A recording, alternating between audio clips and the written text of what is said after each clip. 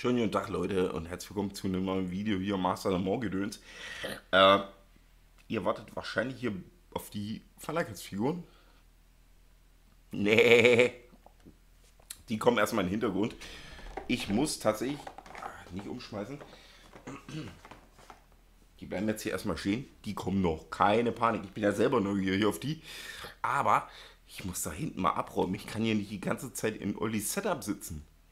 Der verklagt mich noch. Auf mein letztes Hemd. Und das ist das letzte.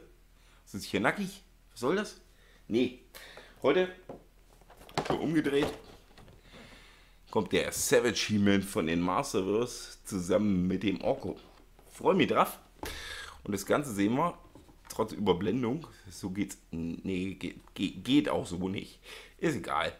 Nachdem. An.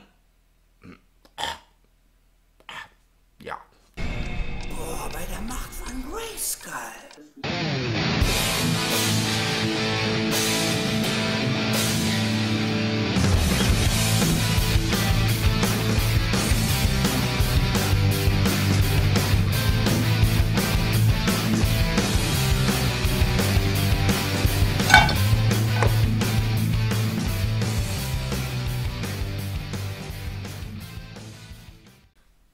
Einen wunderschönen guten Tag und ein fettes Heavy Modell an dieser Stelle.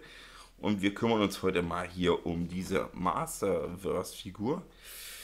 Ich weiß nicht, ob die schon mal ausgepackt war. Sieht so ein bisschen krümpfelig aus, wenn man so das oben anguckt. Aber ich habe die von Amazon gekriegt. Das ist eh nicht so geil. Hier war irgendwie zum Beispiel hinten nochmal, ich weiß nicht, ob ihr das sehen könnt, hier auf der Brust vom Savage Human war beim Artwork tatsächlich auch irgendwie Aufkleber drauf. Was ich trotzdem geil finde, sind halt, also einmal diese Side Artworks, also von wegen dem He-Man-Schriftzug, Savage He-Man, ziemlich geil. Und da ist er auch nochmal abgebildet. Einmal gar nicht mal so grimmig. Und auch Orko da als äh, äh, Masterverse-Figur. Unten haben wir hier noch. Was ist denn das alles? Stinkor, Scareglow, Scareglow habe ich ja. Faker, der kommt bei mir auch noch, also der Masterverse Faker, nicht der New Eternia. Wobei ich auch da am überlegen bin, ob ich mir den zulege. Der Triklops, den müsste ich fast, wobei ich den dann tatsächlich lieber in der Urvariante und nicht in dieser komischen Tech äh, äh, Variante, äh, brauche ich nicht. Andorra, weiß ich nicht, wenn ich die mal billig kriege, keine Ahnung. Fisto und den Savage He-Man, den haben wir ja hier. Mit Orko zusammen. Freue ich mich drauf. Jetzt muss ich bloß gucken, wie packe ich den am besten aus. Das ist ja meistens so ein Zeitschieb-Ding, Gedöns. Von oben kriegt man die, glaube ich, gar nicht gescheit aus. Hier sind zwar zwei Klebebänder, aber ich glaube, doch, es geht. Ja, es geht. Kein Hintergrund. Kein Weg. So. Hier haben wir im Hintergrund die Steine. Es überblendet halt trotzdem durch die Plastik noch. Also die Steine, die wir bei dem Master was oft haben. Und hier hätten wir die beiden Figuren. Ordentlich Zubehör. Ähm, weit unter 20 Euro bezahlt, inklusive Versand bin ich mal neugierig. Fange ich mal mit der Figur an. Brauche ich wahrscheinlich gar nicht mehr. Doch, Stropse. Wer will Stropse haben? Niemand. Also kommen die auch noch weg. Jetzt muss ich wieder hier so über meine Brille gucken, so oberlehrermäßig. Das hasse ich ja wie die Pest. Aber ich sehe es halt anders nicht. Äh.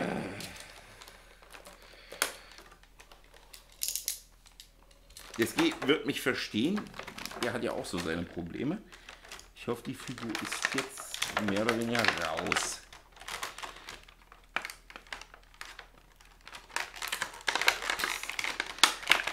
Der wäre auch super so drin gewesen, wegen der, wegen der riesen Ohren. Ich höre mal mit dem Knistern auf.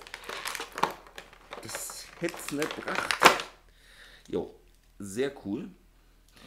Also der Orko tatsächlich einer der Charaktere in der Revelations-Serie, wo ich am Anfang so meine Probleme mit hatte, mit diesen Schlappohren, also rein von der Optik her und sowas, äh, den ich gar nicht so geil fand, gebe ich zu.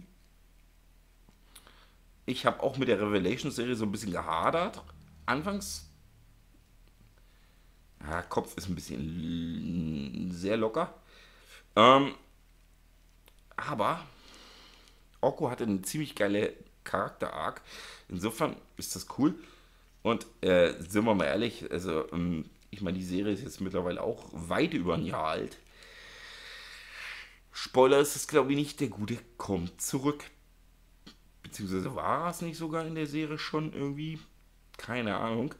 Aber gucken wir uns die Figur trotzdem mal so an. Hat einen schönen Stand.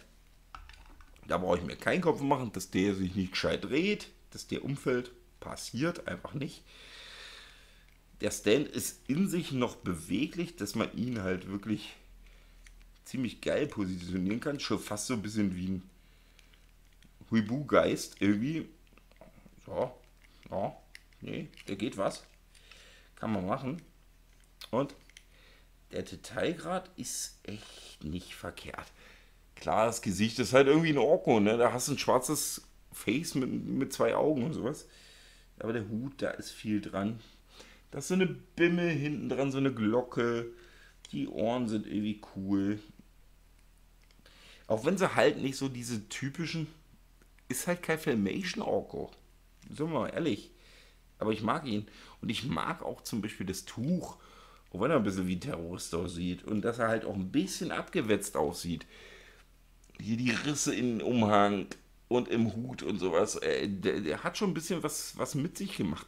Es war ja auch so gedacht, äh, der Orko, wie alle Figuren da eigentlich, ähm, der hat schon was hinter sich. Das ist ja, die Magie of Eternia geht flöten. Und ich meine, er war ja nie der Riesenzauberer.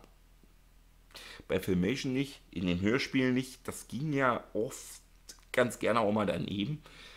Der hat schon was hinter sich. Und dann leidet die Magie auf Eternia noch mehr. Der konnte ja bloß noch so ein abgeranzter Penner werden. Es ist eigentlich nicht böse. Das ist nicht gegenüber Orko übel gemeint. Ich mag den Charakter als solches sehr gerne. Gerade so in den Hörspielen ist er nicht mein Lieblingscharakter, aber auf jeden Fall einer meiner Lieblings-Sidekicks. Das kann ich schon sagen. Und ich mag ihn. Stell ihn hier mal hin. Da ist ein, zumindest noch ein Bild. Weil jetzt hier für das Plateau brauche ich den Savage Human. Da fangen wir aber mit dem kleinen Kram an. Gott. Das ist ein bisschen mies. Das haben sie wirklich mies gemacht, weil die, die werde ich brauchen. Weil hier haben sie die Greifhände als Zusatzhände gemacht.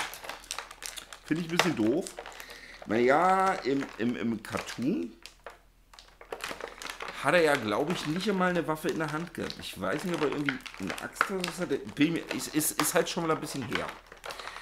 Boah, ich kriege diese scheiß Hand nicht raus.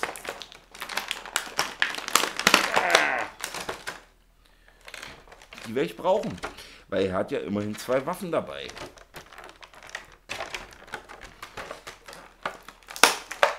Eine habe ich. Die zweite auch. Ähm,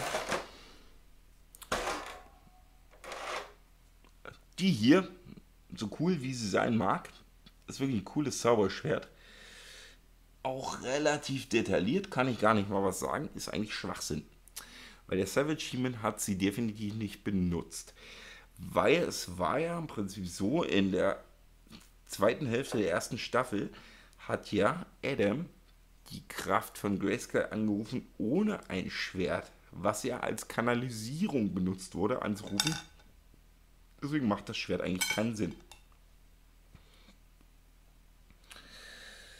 Jo, bei der zweiten Waffe bin ich sehr zweigeteilt. Das ist ja auch eine zweischneidige Axt, ne? Was ich cool finde, die hat hier überall Kerben drin und sowas. Ist geil. Aber sieht, sieht trotzdem nicht geil aus. Weil guckt euch mal das an. Das Schwert hat halt so ein paar Grau- und Silbertöne. Die Axt ist einfach nur grau, auch wenn der Griff bemalt ist, aber das sieht nicht gut aus. Das wäre eine anderen Farbe, in halt wirklich so einem Silbergrau, ein bisschen Wasche oder so, wäre das schon geiler gewesen. Ist ein bisschen, also in manchen lichten, in lichten Momenten, also wenn man das so in verschiedenen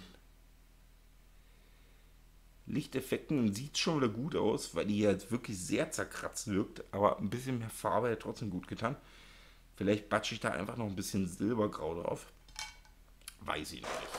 So, jetzt kommen wir zu der... Ach nee, da ist ja noch ein extra drin. Das habe ich ja komplett übersehen. Kriege ich das so raus? Ich das raus? Wir haben ja noch ein Speer. Das ging easy. Übrigens, äh, was ich sagen muss, ja, ein leichter Bogen. Jetzt passt schon wieder. Ähm, die Waffen sind verhältnismäßig gerade. Ist ja jetzt auch keine neue Version, also ich habe dafür wirklich wenig bezahlt. Äh, Finde ich okay. Jetzt gucke ich mal, dass den Himmel hier rauspuppel. Der scheint ja allerdings. Nö, der hatte keine Haltebänder. Finde ich gut. Jetzt muss man gucken, dass ich den jetzt erstmal für mich so ein bisschen positioniere. Also wenn man schon scheiße findet, ja, für den Filmation, äh, für den Filmation sag ich, für den äh, Revelation Cartoon finde ich es okay, dass er nur Pranken hat. Also wirklich äh, seine Hände einfach bloß. Weil er hatte ja eigentlich gar keine Waffen. Was ich schon mal scheiße finde, er guckt eigentlich. Ich finde seine Mähne geil, aber er guckt viel zu freundlich. Der guckt so ein bisschen wie so ein Metal-Sänger nach einem gelungenen Konzert. Ist nicht böse gemeint. Also, ich weiß, Metal-Sänger können auch böse gucken. Gibt auch Black Metal. Ist nicht mein Fall, sage ich ganz ehrlich. Darum mache ich gleich mal die Greifhände rein, schon alleine wegen der Waffen.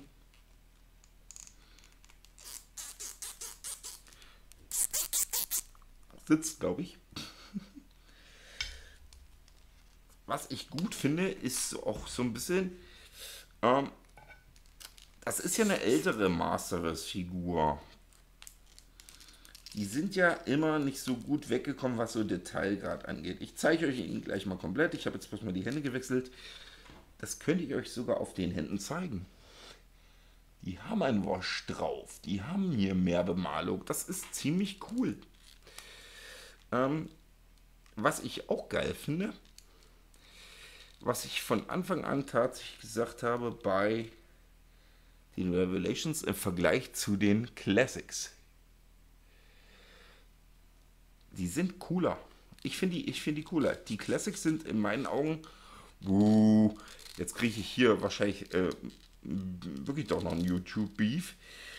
Will ich jetzt nicht, sondern äh, mir geht es einfach darum, gerade preis-leistungstechnisch sind diese Figuren um einiges besser als die Classics. Haben wir die gleich, gleiche Größe etwa, wenn man da jetzt eine Classic-Figur daneben stellen würde? Das wäre etwa gleich. Bewegungspunkte dürfte sich nichts geben. Aber alleine schon das, der Oberkörper, der sah bei den Classics immer scheiße aus. Wenn man das hochgezogen hat, das sah immer nach Gelenk aus hier unten. Fand ich nicht geil. Also wenn die nicht gerade eine Rüstung hatten oder irgendwas drüber, was stoffmäßig ist, weiß nicht, ob irgendwie Classics Stoff hatten, aber ich habe ein paar Classics-Figuren. Das sah nicht gut aus. Hier haben sie das gut hingekriegt und der Kollege, mal ehrlich, der sieht mir mit seinem Dreck und seinem Wash richtig gut aus. Der Lendenschutz wirkt fast, als ob er aus Stoff wäre. Fett.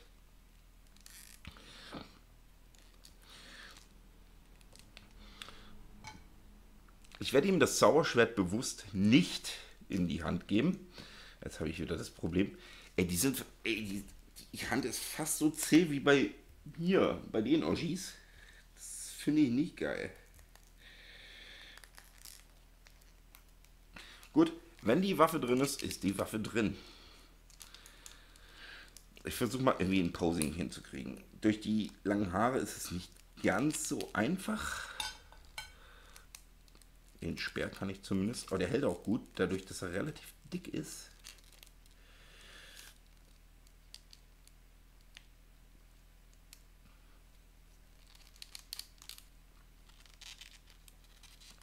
Die Gelenke sind geil. Also bei dem habe ich wirklich ein Glück. War ja bei den ersten Masterverse-Figuren manchmal so ein bisschen so ein Ding, die sind allmehr zusammengesackt. Das ist ja mehr feierlich. Was mir auffällt, er hat echt große Füße. Aber äh, das ist jetzt so ein bisschen Meckern auf hohem Niveau. Ähm, ich will noch die Waffe so ein bisschen im Hintergrund haben. So als. Ey, sind wir mal ehrlich. Das schaut gut aus. Ist eine geile Figur. Die haben alle so ein bisschen über den Savage He-Man. Gut, ich habe halt auch bei weitem nicht den Preis bezahlt, was der immer gekostet hat. Ich muss jetzt schwindeln, weil ich es nicht mehr hundertprozentig weiß. Den habe ich mir auf Amazon bestellt und der hatte irgendwas zwischen 15 und 20 Euro äh, gekostet.